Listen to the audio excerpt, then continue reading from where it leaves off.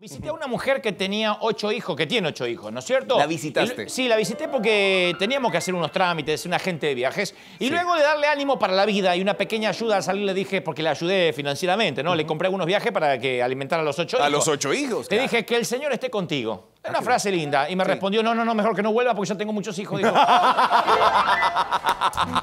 claro, ella hablaba de otro señor. Y Claro, es el noveno, imagínate. sí. Y entonces me hizo reír la señora con su afirmación. Claro. Pero me puso a cavilar esa apreciación que ella tenía acerca de una familia. Así que me pregunté, preguntémonos, hoy acá que tenemos público y podemos bien. hacer una,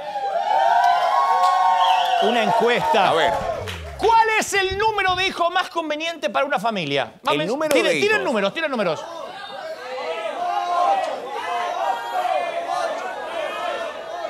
Yo creo que tres.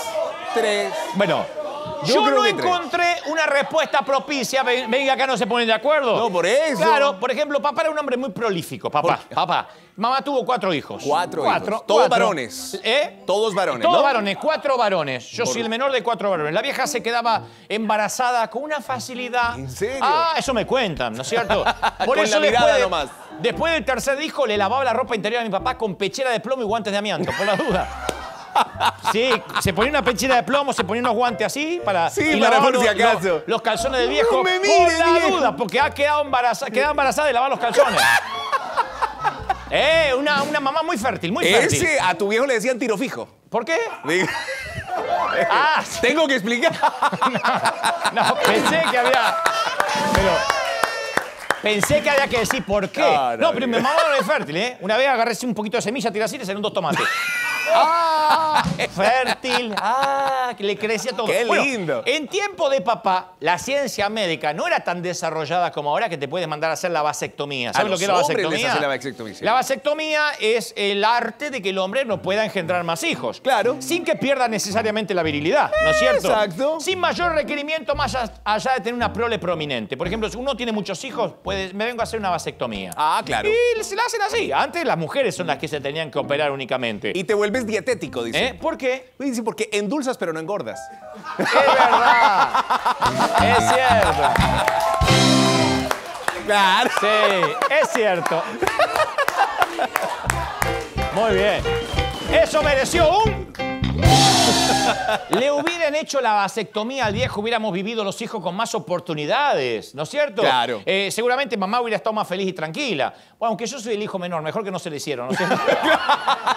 No hubieses existido. Ah, ¿Sabía que yo gané, eh? Yo gané, ¿Por ¿eh? qué? Y ¿Ganaste porque soy qué? el espermatozoide que llegó. Ah, claro. Bueno, en esos tiempos eh, éramos un montón, eh, que queríamos ahí y, y- y yo gané y dije... Lo "Toma, recuerdas como si fuera ayer". Este primero. Bueno, en estos tiempos, en esos tiempos se planificaba... eh, escuchen que hay, hay niños y no puedo explicar mucho de lo- más de lo que estoy explicando, ¿eh? Claro, hasta ahí. Y la señora que se ríe le explican también después en casa. Bueno. en esos tiempos se planificaba con el método del ritmo. El ritmo, sí, Ah, Pero no le funcionaba a mis viejos, porque cuando mi mamá quería bailar el vals, el viejo quería bailar tango. señor. ¡Eh! Entonces el ritmo no funcionaba. Luego No. probaron el método de la espiral. El y la vieja, Ese no lo conozco. la ¿Cómo vieja es? se embarazaba igual, pero no había mosquito en la casa. Mató todos los zancudos y le hacían hijos. Y dice, ¿pero qué pasa? Y si compramos espiral. No era ese espiral, era otro. que- Era otro espiral. Claro. Luego probaron con el método del silbido. ¿Cómo Ese era está espectacular. Para planificar con el método del ¿Eh? silbido. ¿Cómo ¿Eh? se planifica? Bueno, con el- dormían en habitaciones separadas para evitar que les agarrara el deseo. Ah. Y cuando el viejo ya no aguantaba, salía al pasillo y silbaba. Y entonces. Ah, exacto. Y ahí la vieja, uy, si me habré criado con esos silbidos, ahora que lo pienso. Por eso estoy traumado, ¿no es cierto? El otro día un policía me tocó el silbato y salir corriendo. A mí no me agarran, ¿eh? Sí. Bueno, eh, cuando el viejo silbaba, ¿cómo? ¿Cómo? La vieja acudía contenta. Claro. No le Ah. funcionó porque el viejo toda la noche solía dar conciertos de ¡De silbido. el silbido! Y una noche que, mi, que no lo hizo, mi mamá salió y dijo, viejo, me pareció que escuché que silbaba. ¡Eh!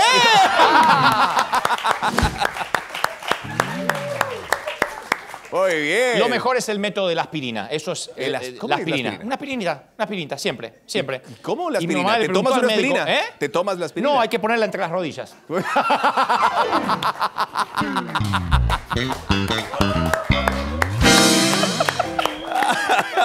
fuerte y ya está. Bueno, voy a contar una intimidad aquí a merced que mi esposa se sienta un poco ¿De incómoda. tus papás o tuya? Pero claro, yo he heredado esa capacidad de ser un hombre prolífico. Mis cuatro hijos son mi garantía de que no digo mentiras. ¿Es verdad?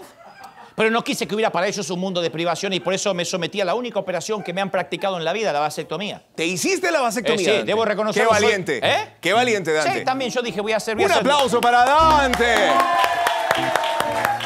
Muy bien. Ahora es cuando yo decía, voy a hacer como, voy a hacerme dietético. Y usted me decía, ¿por qué? Porque endulzo pero no engordo. ¡Ah! Ahora, en esta parte, en esta parte. Pero ya me lo Ya quemo, no hace falta, Entonces sí. ya no lo, no lo puedo hacer. Le pido a Dios que el ¿No día... te dio miedo en la vasectomía? ¿Eh? ¿No te dio miedo? ¿Por qué? Que cortaran el cable equivocado. Y puede ser. A veces cortan el cable equivocado. Y sí, sí, sí, hasta que llega muy bueno. Yo le pido a Dios que el día que esté próximo, este, eh, eh, que esté próximo, que esté eh, cercano a ver crecer los gladiolos desde la raíz, el día, o sea, que el día que me muera, Sí. este, que me vaya a la presencia de Dios, que no me haga pasar más días de dolor y vergüenza que en la clínica como que pasé con el asunto de la operación de la vasectomía. Fue duro, fue difícil. Sí, pero no por la operación. ¿Por porque qué? al llegar te hacen quitar toda la ropa y te ponen una batita verde en forma de campana que no alcanza a cubrir lo necesario, ¿no? si te mueves, muestra tu identidad. La batita se amarra por delante, pero tiene una abertura por detrás que no te da otra alternativa que andar con la espada pegada a la pared de la clínica así. Ah, Porque no quiero que se lleven un mal recuerdo de mí y todas esas cosas, ¿no? Aparte, con esa batita escuchaba silbido, me moría. Se te caía la aspirina. ¡Ah! Por andar caminando así, escuché dos médicos conversar. Doctor Rodríguez, hay que operar al paciente de las 202, dije, escuché. Y, y- y dice el otro, ¿por qué, doctor González? ¿Qué tiene? Dinero, le contestó el otro. y ahí me di cuenta lo que mueve las clínicas. Lo Claro, es una mafia. Yo creo que hay médicos tan interesados que no le dicen al paciente, déjeme chequear su pulso, sino déjeme chequear su cheque. Claro. Es así. Bueno, ahí estaba yo sentado en la camilla, me sentía como una rana platanera, ¿no? Minúsculo, relajado como ser humano en su más mínima expresión. Claro. Menos mal que entró el médico y me dijo, señor Gebel, permítame que le reviso la zona que voy a operar. Claro. Yo dije, ¿por qué hay que revisar? Opera y ya está. Y dice, bueno, eh, O que- duérmame primero. No, no ande manoseando, no. Como decía un verdulero, no toque si no va a llevar. Claro.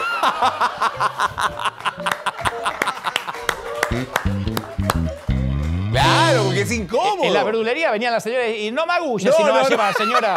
No me agulle todo si no va a llevar. No, Bueno, claro, es una claro. frase que me tantas, tantas, eh, tantas alegrías me ha traído. Bueno, este, me revisó por 20 minutos y este, le digo, ¿ya está? Y dice, no, no, no, no, no, este, ahora hay que asearlo. Le digo, yo, me, yo vengo aseado. Claro, y te bañaste en la mañana. el perfumito que huelo. No le importó al tipo. Me hizo acostar en la camilla de operaciones y me dejó por varios minutos mientras me miraban, se miraban y se reían.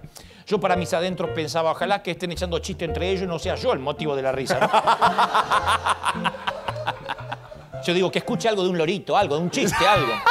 Cansado de esperar por 10 minutos, le pregunté, doctor, ¿por qué no empiezan con la operación? Me dijo, Claro. estamos esperando a que salga el resultado del último examen para ver si lo podemos operar. ¿Cómo así? Y en ese momento en la oficina gritaron, ¡listo! ¡El cheque tiene fondo! Y, ¡No! ahí, y ahí me empezaron, me empezaron a operar. Yo no voy a tener más hijos porque me concentraré en hacer, eh, me concentraré en estos cuatro, cuatro chicos que Claro. tenemos para que la sociedad se sienta orgullosa de los eh, muchachos y la nena que tenemos más pequeña que vamos Los- a poner en el mundo. Muy bien. No sé si alguno me llega a dar la preocupación de hacerse médico porque ahí sí me va a sorprender la vida. ¿no ¿Por es qué? cierto? Y porque va a estar detrás de los cheques de la gente y no quiero, quiero que sea gente.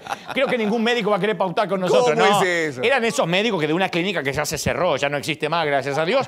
Parece que la vasectomía no resultó, parece que cortaron un cablecito equivocado. ¿Y entonces? Y bueno, habrá que silbar, mijo. Habrá que silbar. Bienvenidos al show.